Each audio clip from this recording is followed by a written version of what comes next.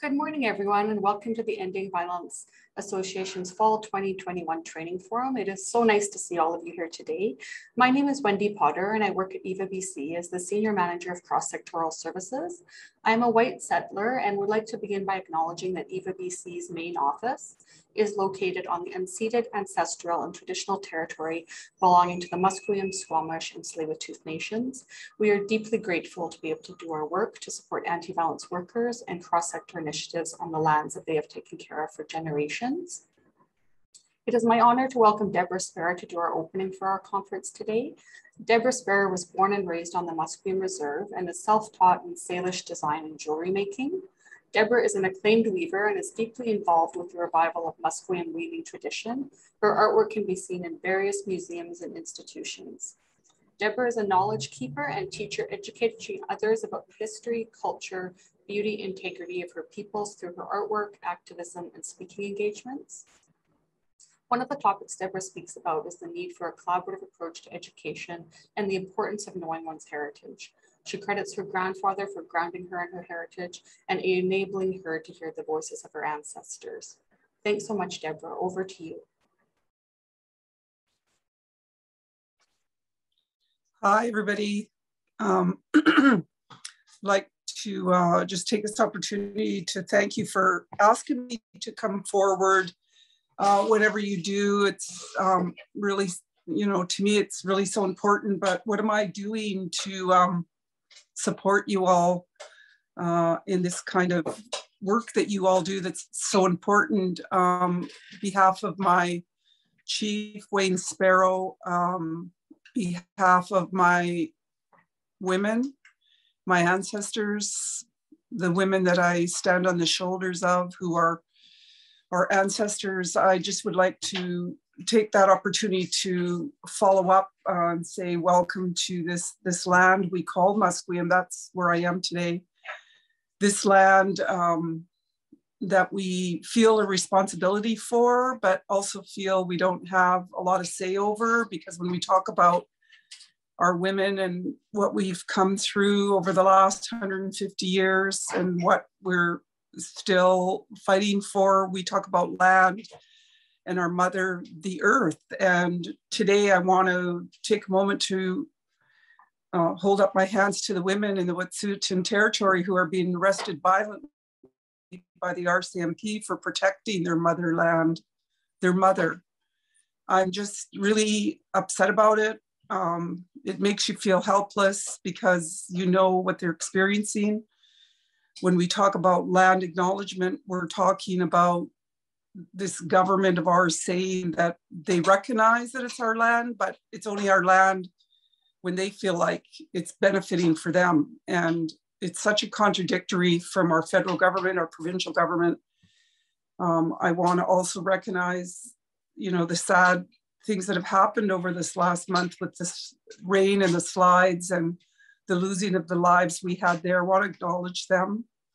I know there was some women who um, lost their lives there, um, and it's you know it, it's mind-boggling that these slides are happening in one way, but in another way it's not because again we are stripping their forests that held up those lands and enabled now these slides to happen. And if we don't heed from this, if we don't wake up and realize what we're doing, the violence to our land, to our resources, we just won't have any anymore. And it sounds, you know, it sounds like it's it's easy to solve this problem, but it isn't. And we've gone through a hard time in the last year for COVID. And I wondered about all of the women and the things that are happening inside our homes and one wish is we could share with them the way in which healing works um, in many different ways. Behind me is my textile, which is my healing. It's my passion. It's what's kept me focused and strong, and it connects me to a, a history. It connects me to the women who were the original makers of this work, and I honor them on a daily basis. And I honor all of you for the work you do. Um, and if we could give every woman this kind of strength that we can stand on in the creative process, we as women wouldn't allow things to happen to us.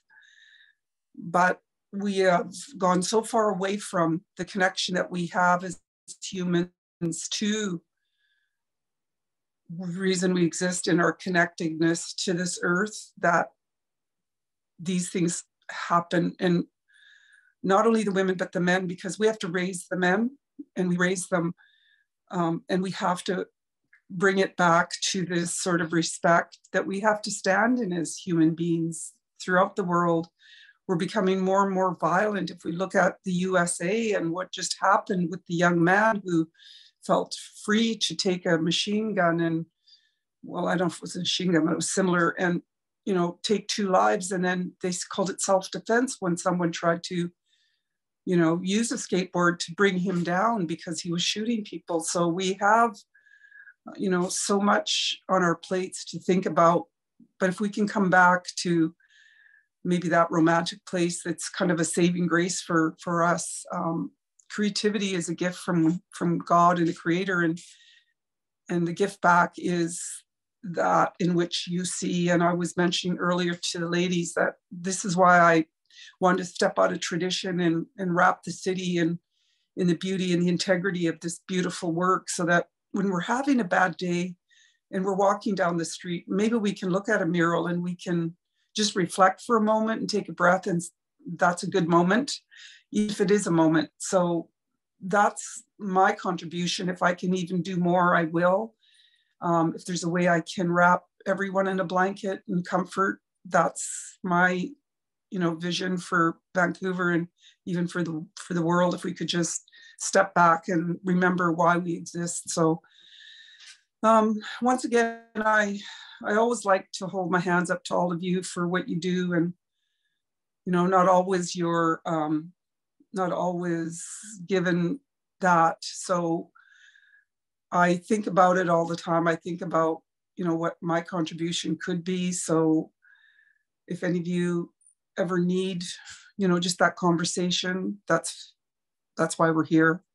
That's why we do what we do. So I wish you all good words over the next few days or day that you are together and having discussions and looking for solutions. And it's a tough one, tough one out there. So I hold my hands up to you all until we meet again. So Hajkasiyam. Thank you, everyone.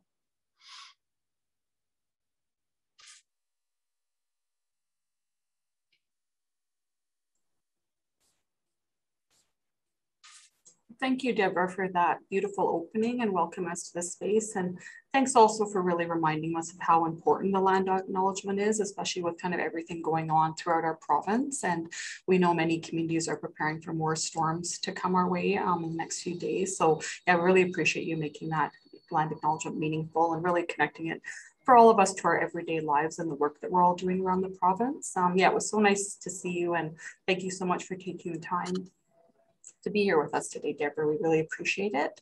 Um, before we begin our, our conference program, we just wanted to highlight some information for all of us this week.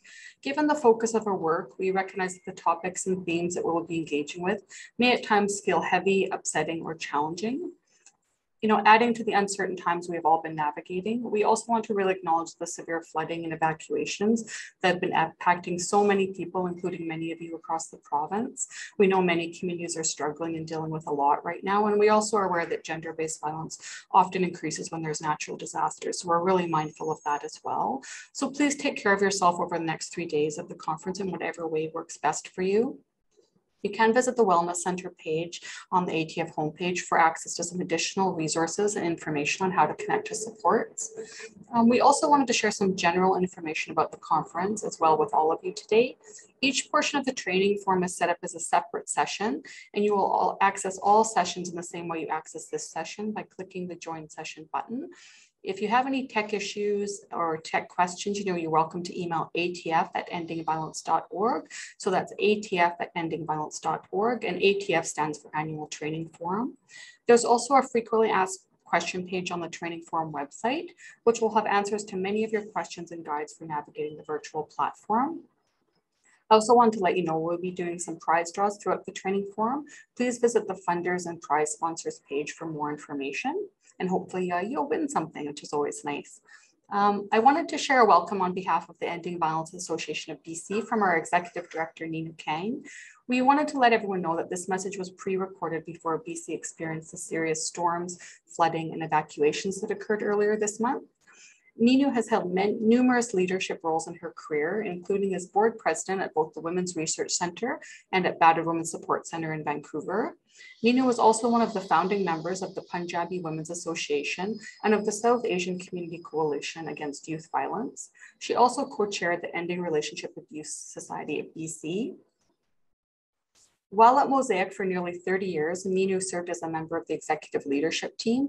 In addition to her work at Mosaic, Ninu has been involved in a number of community initiatives, such as leading the Surrey Organizing Against Racism and Hate Network. This network really worked to facilitate dialogue to establish best practices, raise public awareness about racism and hate activities, and develop response strategies to address these incidents in Surrey. Ninu has facilitated training in anti-violence and anti-racism across North America and the globe, and is recognized as a leader and visionary in the field. Over to you, Ninu. Hello, everyone. I'm Ninu Kang, EVA BC's Executive Director. I identify as a settler on these lands, and I'm recording this message to you from the unceded and ancestral territory of the Musqueam, Squamish, and Tsleil-Waututh peoples. I've had the pleasure of um, connecting with many of you over the years. And for those who I haven't had a chance to meet, I've been here at EVA for about a year and a half. Um, for one year, I was the co-executive director, and since July, in my current role as the executive director. I also worked with EVA in the past in various capacities in the anti-violence sector. And before coming here, I worked at an organization called Mosaic with the mandate of supporting settlement of newcomers. Even though this message is pre-recorded, I do plan to join in during the forum. And as well, I hope that I'll have a chance to connect with many of you over the next three days. Just a brief report for you on what's happening here at EVA BC. We've been thinking a lot about EVA BC and about how we can be stronger and more effective in meeting our goals. We've revised our mission and vision statement and redefined our strategic priorities. I look forward to sharing more details about this with you soon. But just know that we are going to be enhancing the work we've already been doing to develop more training and supports across sectors and for the frontline anti-violence workers. And also we want to focus on how we can help increase the capacity to meet underserved populations. I look forward to demonstrating our commitment to the intersectional decolonial analysis in our work. And we want to better communicate with you about what we need to know and to do this important work to develop our knowledge of anti-oppression, anti-racism, decolonizing practices to enhance social change. To help us be more effective, we've also created a new organizational structure, structure with three main public-facing service streams that better reflect the categories of the work that we do. First, provincial services, with Kate Roster as the senior manager. Another area, cross-sectoral services with Wendy Potter eh, within the manager, senior manager's role. And for communications and prevention, we have Corinne Stavnes taking the lead. Our fourth um, stream is an in-house stream as administration and finance services headed by Habiba Rashid, who I know so many of you have had the pleasure of working with over her dedicated time here at EVA BC. We have also strengthened our team with some new staff positions. So during this forum, watch for some new faces among the well-known ones. That was just a brief introduction about the direction we're taking and the vision we have for EVA BC. And I look forward to sharing more details with you about this in the coming months. The themes of this training forum is building on resilience, enhancing capacity to support survivors through uncertain times. We hope the lineup of sessions will meet you where you are and help you find what you need to enhance your capacity and find connection. These certainly have been uncertain times for many of us, and especially so for those communities we support. The pandemic, of course, continues to affect everyone, but the confirmation of the unmarked graves of residential schools across Canada have made these times of reckoning for reconciliation across this country. This morning, Chief Rosanne Casimir of the Tk'emlúps te Secwépemc Nation will speak to us about the ongoing impacts of colonialism and the residential school system and the resilience of the Indigenous communities.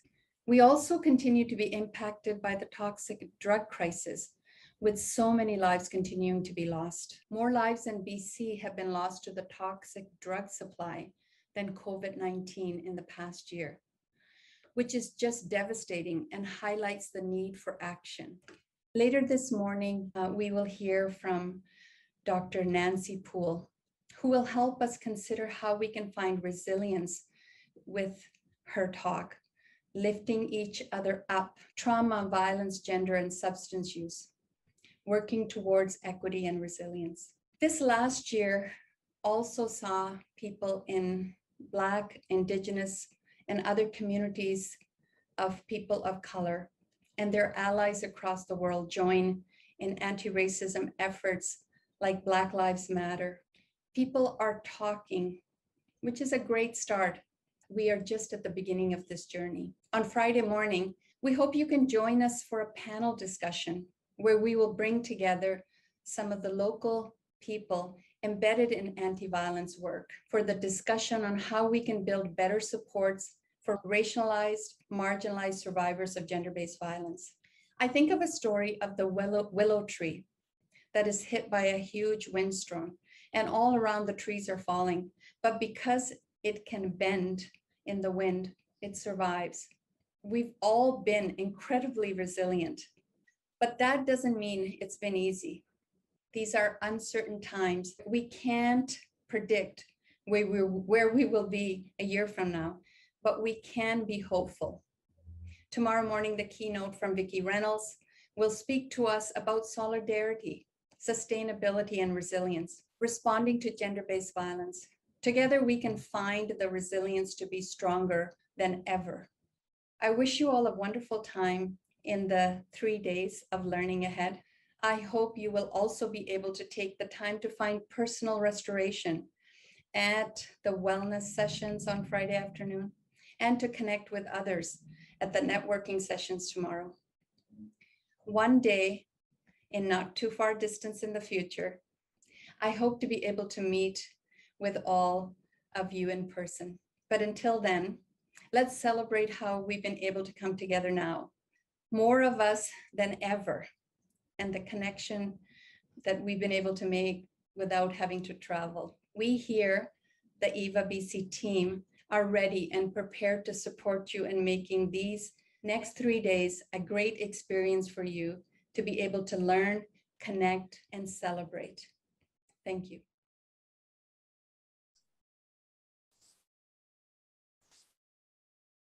Thank you, Ninu, for that warm welcome. And I think the concept of resilience we know is becoming more meaningful every day with everything that's happening in BC. Um, yeah, and hope everyone gets a chance to, you know, hope we're able to gather in person at our next ATF. It would be lovely to connect with everyone that way. Uh, next, I'd like to share a message from BC uh, Minister of Public Safety and Solicitor General Mike Farnworth. Mike was raised in Port Coquitlam and has lived there for more than 40 years. He earned a bachelor's degree in geography at Simon Fraser University and was elected to Port Coquitlam City Council for three terms. Mike Farnworth was re-elected as MLA for Port Coquitlam in 2017. He was first elected as MLA for Port Coquitlam Burke Mountain in 1991, and he was re-elected in 1996, 2005, 2009, and 2013. As MLA, he served in numerous cabinet positions, including the Ministry of Health and the Minister of Municipal Affairs and Housing, and he is our current Minister of Public Safety and Solicitor General. Over to you, Mike. Hi, I'm Mike Farnworth, the Minister of Public Safety and Solicitor General for British Columbia. I want to begin by offering each of you my sincere thanks for the investment you're making in training right now and for your ongoing commitment to furthering the safety of vulnerable people in British Columbia. These are extraordinary times, times that have brought changes in how we go about our lives, where we work and study, how we gather with friends and family, and even our living situations. Many of these changes have been about furthering our individual and collective safety. But at the same time, they've created more demand for services to help people to mitigate their risk of being victimized, to escape domestic violence and child abuse, and to move from risk and victimization to a place of safety and survivorship. We are acutely aware of what some experts have called a shadow pandemic involving femicide at the hands of men, domestic violence, and sexual assault, with disproportionate impacts on Indigenous women. When I became minister in 2017, nobody could have foreseen the COVID 19 pandemic. But we did recognize at that time the need to ensure that people, particularly vulnerable people, were able to access needed supports and services to help keep them safe. Right away, we started to invest more in services that help victims of crime and women and children impacted by violence. And in our first full provincial budget, we made a three-year commitment to better meet demand for programs and services like counseling, outreach, and crisis support for women and children who experience domestic violence, sexual assault, and other crimes. This included $20 million to EVA BC to support the delivery of coordinated emergency sexual response services by community-based organizations throughout BC. This was over and above the steady commitment that my ministry makes year after year to fund hundreds of victim services and violence against women programs. All of this is to say that we recognize and appreciate and support the work that you do. We have your back, and we appreciate that in turn you have the backs of so many. As we continue to navigate COVID 19, we recognize more than at any time in our recent history how critical your frontline work is. We still have work to do within and beyond BC's borders to ensure that gender, ethnicity, and sexual orientation do not place people at a disproportionate risk of violence, and to eliminate violence overall. British Columbians are extremely fortunate to have EVA BC, its decades of experience and knowledge, and its leadership in annual forums like this virtual one. I know that you and the countless British Columbians you help will benefit from these three training days. Again, my sincere thanks on behalf of the province.